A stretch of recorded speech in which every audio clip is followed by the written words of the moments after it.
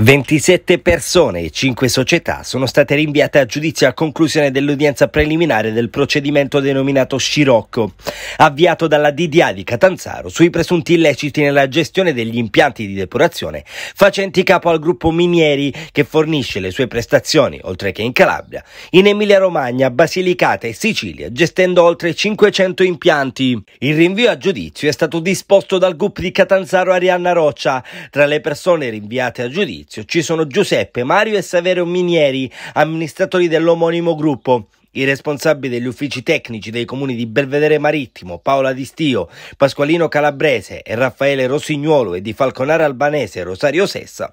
l'accusa nei loro confronti è di avere commesso una frode nell'esecuzione dei contratti di affidamento nel servizio di gestione dei depuratori, liquidando somme per prestazioni che erano in realtà per contratto a carico delle società del gruppo Minieri. La DDA di Catanzaro contesta le persone coinvolte nell'inchiesta a vario titolo i reati di associazione per delinquere al fine di commettere reati ai danni dell'ambiente e della pubblica amministrazione, frode nelle pubbliche forniture, inquinamento ambientale, traffico di illeciti di rifiuti e tentata estorsione aggravata dal metodo mafioso.